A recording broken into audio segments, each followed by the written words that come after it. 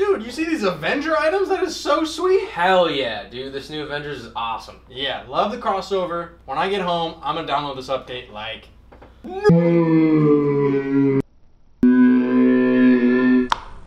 Ooh!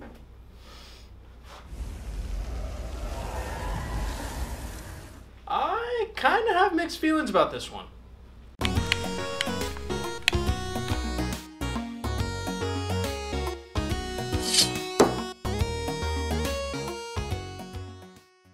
What is going on, party people? Happy Avengers Endgame Day. I know a lot of you guys are excited to see it. It is now out. Welcome to the show. This is Moot Points. I'm Dylan. This is Brian. Brian, how the heck are you? I'm, uh, you know. Let's, uh, on with the show. Let's get on with the show, he says. Guys, guys, guys, guys, we have a great episode. So without further ado, let's jump in. The first topic today, guys, is none other than Fortnite's limited time mode with the Avengers. It's an amazing crossover. They did it last time the movie came out. I think it was last year, but now it's back and it's better than ever. Brian, why don't you tell them a little bit about the game mode? Yeah, as you mentioned, this is definitely better than last year For sure. because last year you had one person playing as Thanos or could become Thanos, and this year you have uh, multiple items from the Avengers like Captain America's shield, Thor's hammer, Hawkeye's bow, and the last one, Dylan. Iron Man's freaking mighty gloves, dude. This guy's got some powers in there. You can fly, and when you're in the sky, you just rain down on people with little blasters, and I So, love it. so how does this work? Is uh, there's two teams of 50, and one team is Thanos and his cronies. They're presumably the bad guys here, and the other team are heroes. And the heroes start with a treasure map that leads them to a mythic Avengers item, uh, which we just mentioned. Now, there's some really interesting aspects here, like the heroes respawn. Uh, unless Thanos and his bad guys have got all the six Infinity Stones, which is their goal. So it's a it's a really fun, casual, like 50v50 battle. People really sure. like the 50v50 game mode in general. I really like to see them uh, based on this. So Dylan, I know when uh, you know we were supposed to be working. I know you were watching some streams like I don't want to say all day yesterday, but all day yesterday. So please tell tell us a little bit. What do you like about this game mode? Uh, from I so mean, far? just it kind of goes with what you were saying. It, it it's a casual gameplay. Like Fortnite is so competitive right now. It's so hectic with all the sweaties just really trying to make it to the World Cup. Uh, it's just it's a little too much for some people. We need something to kick back, relax, have a 50v50, have a drink, get your bows on, get your shields going, and just relax. And I think it's a great game mode. Like you were saying, it's way better than last year. Um, but not only as the game mode is it great, it's an extremely great way to market your product. Not that Avengers needs any more marketing than it has right now, but if you want to reach a very niche set of individuals, and a lot of them, I must say, Fortnite is the place to go. Yeah, I think what is really interesting about the Fortnite times Avengers crossover is this whole thing started, from my understanding, uh, from the the two main guys behind the Avengers just happened to be massive Fortnite fans. And so they, you know, worked together and came up with the Thanos game mode.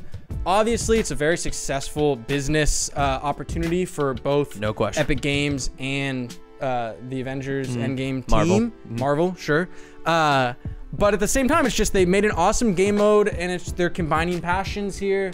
I think we're seeing a ton of overlap. I mean, I had no interest in this movie, but after like playing with uh, Iron Man's gloves and stuff, like It's got a nice dude. I don't know if I'm gonna go, but at least now I'm curious what happens. Yeah, yeah, Yeah. absolutely. Um, overall, guys, the game mode is great. We hope you like it. We definitely think it's very intriguing. Uh, the movie's out now. I'm definitely gonna go see it. Do you want to come along with me? You've never invited me to anything. I take it back, guys. Go see the movie. Let us know about the game. Uh, tell us down below. On to the next topic, ladies and gentlemen. Mr. Conway Twitty.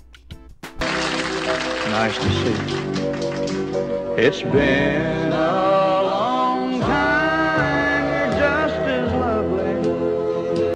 Thanks, Mr. Twitty. It's time for rapid fire.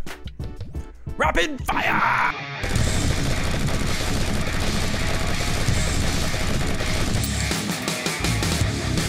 Boom! Brian him with the first one, baby. First one, Overwatch surprise revealed the Workshop. What is that? It's a new tool for their power users to build custom game modes and even prototype new heroes. Apparently, it's an incredibly powerful tool. Can't wait to see what the community makes. Rapid fire. Next one. Call of Duty. There was a private showing of the next game, and there was a slip in the action where someone heard Modern Warfare 4. 4? Is that the next Call of Duty coming? What are we gonna see? That's Rapid Fire. Boom. Last thing, next week we're getting this free Sea of Thieves update for the anniversary. There's a new campaign where you look for the Shores of Gold, and there's a new PvP game mode that might be Battle Royale. That's awesome! Rapid fire!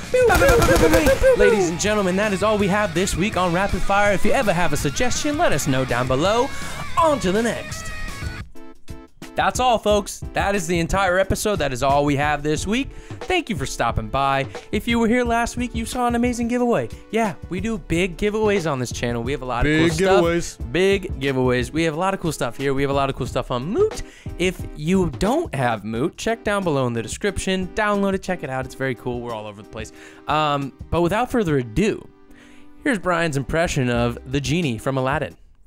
Oi, I'm the genie from Aladdin. You have three wishes. Spot on, guys. That is spot on. Never seen anything better. See you next week.